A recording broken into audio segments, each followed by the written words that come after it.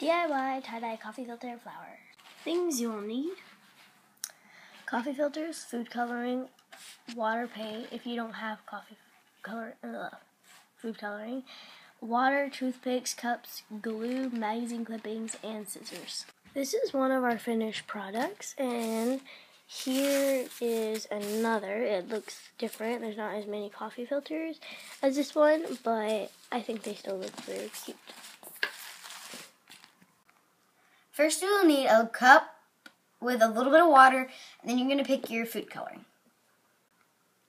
When you get that, you're just going to pour a few drops of food coloring into your water until you think it's dark enough, and then you're going to get your toothpick or skewer and stir it.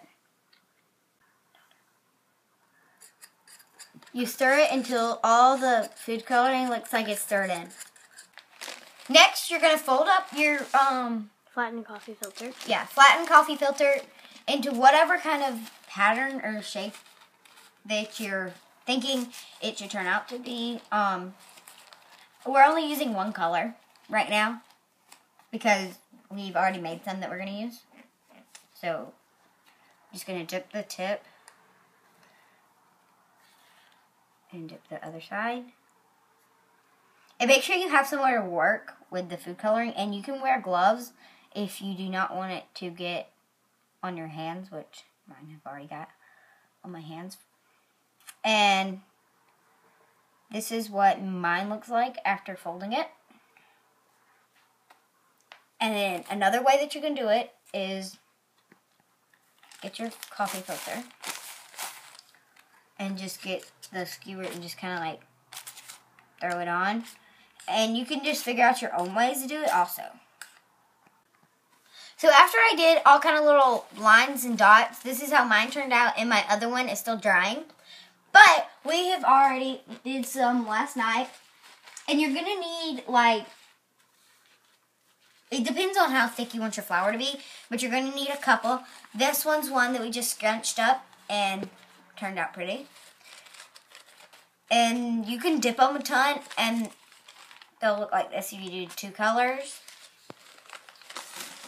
This one is with lines where you fold it like a fan and then you fold it this way once. And so now we're going to show you how to make the flower.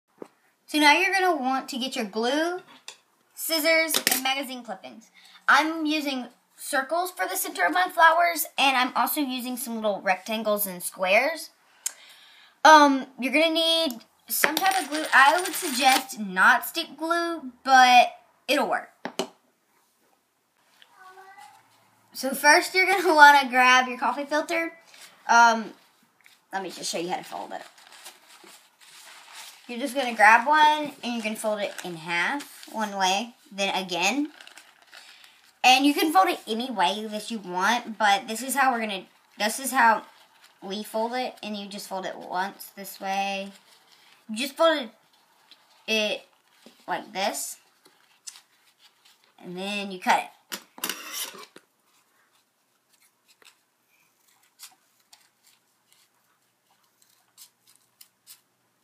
And sorry about my cats, like they're running around. So this is how this one looks like. Just got all these little frillies. And I'm going to make some more, and I'll show you that in just a second. Um, so first, uh, we just folded these, and I am going to show you a technique. And I keep mine folded into the fours. And now what I'm going to do is I'm going to go like this, and then over here, I'm going to cut a slit like this and then cut it down like that. So it's like a smaller piece. So it's a smaller petal than the other one. And then you're going to cut a full one and then you want to cut cross and then a smaller one and down and then across.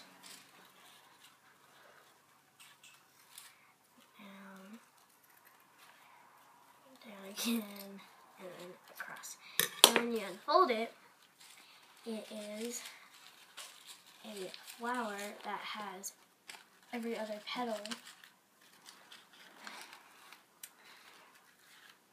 like that.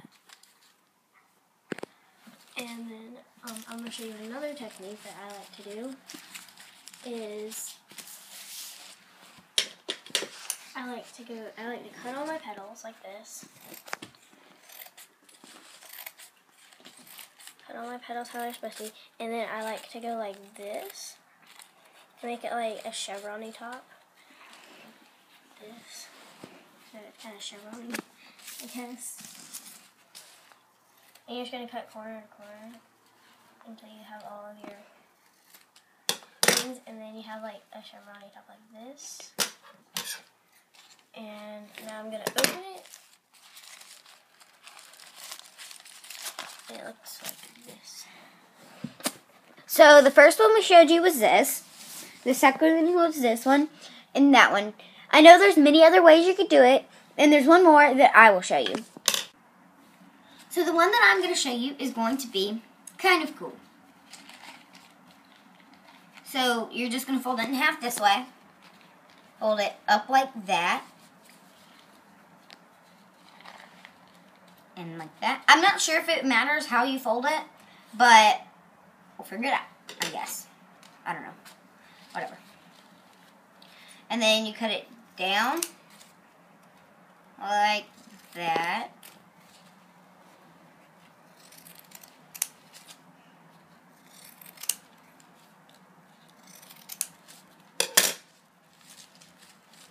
Okay. Hopefully this works this time.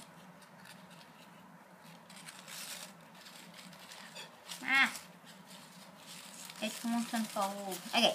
So then you have like a little for day one. And some of them might come off or might have big holes in between them because way you cut it. But this is how it will look like. And if you would like to know like how to do these little white spots everywhere, you just fold your paper different ways. Okay, so if you don't have any scissors, you can always just fold your coffee filter in the fours that we've been showing you. And then fold it again. We already have a folded one. And we're going to fold it again like this. Make sure it's even. And then you're to take it and you're just going to rip it. Like, oh gosh, it's hard. Okay, don't rip it. Oh, there.